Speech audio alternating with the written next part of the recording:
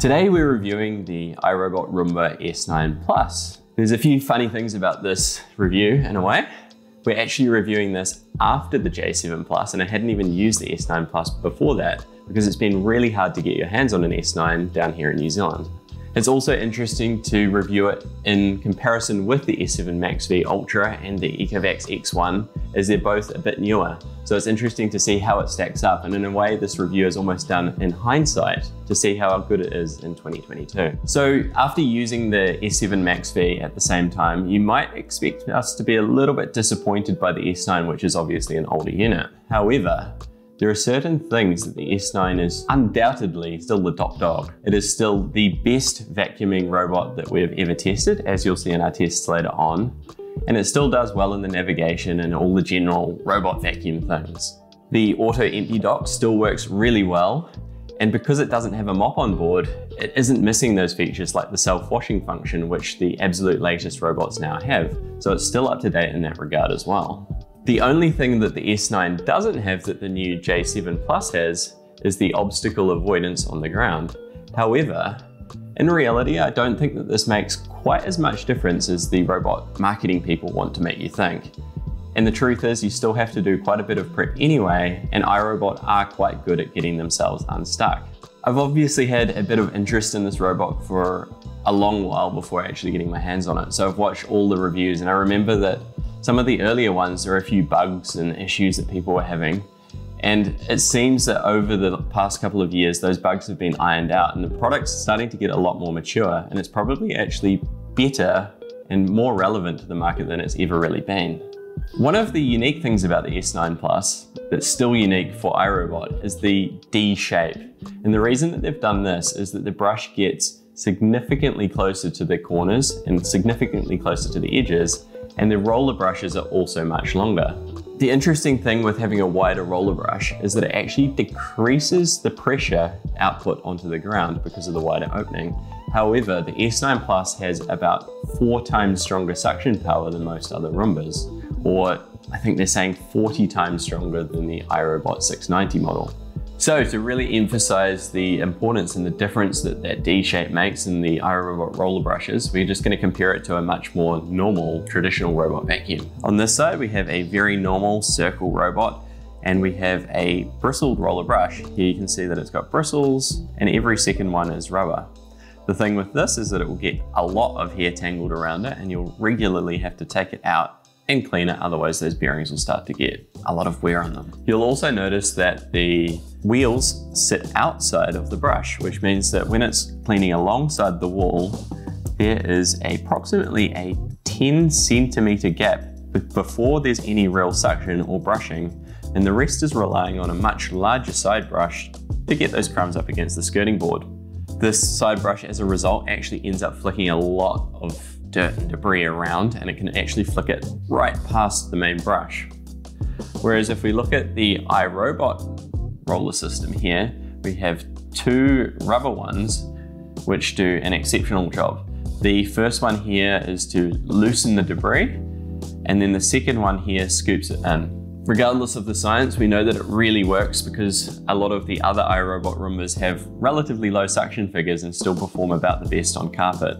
The thing that's unique about the S9 is that it is a D shape, which means that the brush doesn't have to sit between the wheels and instead it can run almost the full length of the robot. This means that there's only five centimeters gap to the wall. So when it's cleaning alongside the wall, it's cleaning nice up and close, and particularly when it goes into corners, it can clean right into the corner and then reverse out. As you'll see later on in the cleaning tests, the side brush doesn't need to be as big, therefore it flicks a lot less around and most of it actually ends up in the dustbin itself. So I think that the brush roller system on the iRobot Roomba S9 Plus is without a doubt the best option on the market at the moment. There's only one minor con about having the brush right on the front there, and that is it is the first thing that will go over any cable or sock or whatever is on the floor. So I think it's slightly more likely to actually get stuck and not be able to get itself off compared with the other Roomba models. So despite the fact that it would record lower Pascal figures on the suction, it actually does a significantly better job cleaning, and that wide roller brush is still one of the best things about this S9. The S9 is obviously still on a V-SLAM camera like most iRobots. It's the older model, not like the J7 Plus. This one's still predominantly looking at the ceiling to get its bearings for navigation. This does an exceptional job at covering the whole area, however it's not quite as methodical or as precise as a LiDAR robot. In reality, it doesn't make a huge amount of difference, but if you're a robot geek, then you've got high expectations now, and it isn't quite as satisfying to watch. As I said though, it will cover the whole area. It'll be slightly slower doing so and a little bit more bumpy into the walls, etc. It is a smart mapping robot. That means that it saves its map. And once it's got it saved into the app, you can then go in and you can add virtual barriers or no-go zones where you circle an area on your map and then the robot won't cross that line that you've drawn.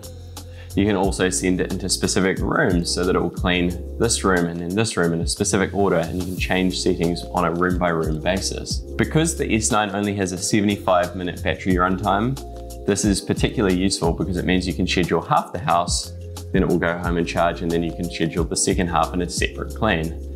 Otherwise, it will be going home to recharge and then it will resume exactly where it left off.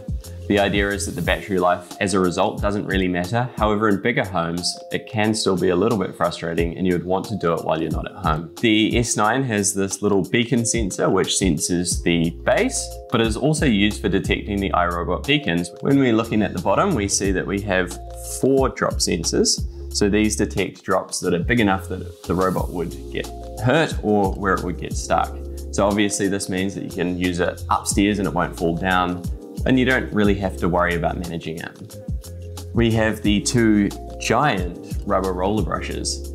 The rubber roller brushes on the iRobot are what really separate iRobot from the other ones in carpet cleaning performance. And this means that in each pass, it's not leaving a big gap where the wheels would otherwise be. It also means that when it's cleaning aligned to a wall, it's cleaning right up to the wall. And the side brush is, as a result, a lot smaller which means that it flicks less debris around and actually picks it up. We also have the two charging contacts, and we have the automatic disposal outlet, which is sucked through the base here by a separate vacuum unit and can store up to 30 cleans, which is awesome because it means you can leave it cleaning for up to one to two months without having to empty it, whereas you'd otherwise have to empty it pretty much every clean. The iRobot will automatically detect when the dustbin is full, another iRobot patent, and return to base, empty itself, and then continue its clean from where it was up to.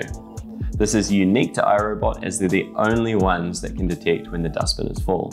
The wheels are a familiar sprung system, which is helpful if it does go of anything because it means that it will keep the drive power on the ground. It's fairly well balanced, which means that it can lift itself up over cords and cables or things that might be on the ground that would otherwise get stuck on. Once again, it also has an optical floor tracking sensor, this is a little bit like an optical mouse sensor where it tracks the distance covered and direction across the ground, and it's very useful for its mapping function. This also helps it clean on dark carpet, which earlier iRobot models struggled with, and it also helps it cleaning in shadow and darker environments. The one downside of a V-SLAM camera is that you do need to leave the lights on to clean, so if you want to clean at night, you just have to remember to leave lights on in those rooms. Under this cool gold cap here, we have the dustbin. You don't need to worry about this quite so much anymore because it will empty itself. However, you can still manually remove it and empty it. You'll also need to clean the filter every now and then just to keep it going. A fairly significant thing that I haven't even mentioned yet is how cool the robot looks. It looks very premium, which is a good thing considering its price point, but the gold the materials. It's got a nice matte finish with a slight texture around here. Everything's very well thought out. It looks very solid and it feels like a tank. It doesn't have that rattly plastic sound every time you move it. It feels very solid and well made. The S9 made all of our cleaning tests look a breeze. It scored close to 100% when we weighed out different materials on our deep pile carpet. At least anything it missed was outside the accuracy levels of our scales. We tested it with rice, Froot Loops, and seeds, and it comfortably removed them all. The Dirt Detect feature is another iRobot patent, and you can see the robot backing up and repeating areas as it recognizes that the floor there is particularly dirty. On the hard floor, it was equally impressive. On this test, the robots usually yeet seeds or rice around with the side brush, but this one just calmly sweeps it into the dustbin. The only downside on hard floor is that you'll need a separate robot for mopping. It removed all of the hair and a lot more than average actually made it into the dustbin. There was still some tangled on the brush, but it was mostly around the edges and it is easier to remove than a bristled brush. I know a guy with a Husky who tried the most expensive robot on the market and it really struggled with that level of hair. He borrowed my S9 to try it and it got it all on the first clean. Real life tests like that are way more compelling than any stage test, so I'm pretty confident that for sheer vacuuming performance, the S9 will be best for pet owners. It's notable as well that the Auto Empty Dock had no issues with husky levels of hair. Because of all that extra suction, it does sound like a vacuum. It's quite loud at 73 decibels, and you wouldn't want to watch TV while it's cleaning in the same room. The iRobot app is a little bit different to many of them on the market, but most people seem to prefer it because it's quite simple. You have the option to send it home. As you can see, it's sitting right next to me, so it's not on the dock. Normally that would just say start a clean, we go into the map option, you will see that we are currently learning a new map because we had to reset it while we filmed this. Once that map is created, you can go into it and you can add those virtual barriers or you can send it to specific rooms and set up all your cleaning schedules like that. You can also save favorite cleaning schedules. This means that you can save a specific one that does the kitchen and the pantry and the dining area so that it will just do those areas after you've finished dinner. Once we create a schedule, we can start it at this time, we can repeat it on whichever days we want, and we can click schedule. You can also schedule it to clean automatically when you leave home. If you enable this, you can use your location services so that your phone knows that you've left home and will start a clean. Otherwise, you can connect it with a few other automatic options as well. Under the cleaning preferences, we have the option to do multiple passes of each room we have the option to change the suction levels. You can turn change it from eco, which will be a little bit quieter, through to turbo, which will do a real deep clean, but it will use that battery life up a lot quicker. Under the careful drive option, there's a setting to make it a little bit more gentle on walls and furniture, which is obviously nice. Under the cleaning history, you can see our cleaning tests. Here you can see the area it cleaned, which looks accurate, of course. It took four minutes on this pass, it cleaned two square meters, when it's a tiny area like this, it will pass it over twice.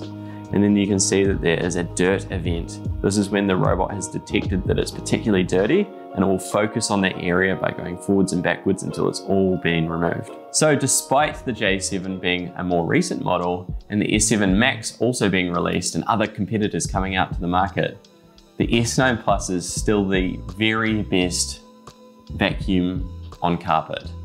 It did exceptionally well, by far the best we've ever tested on all of our tests.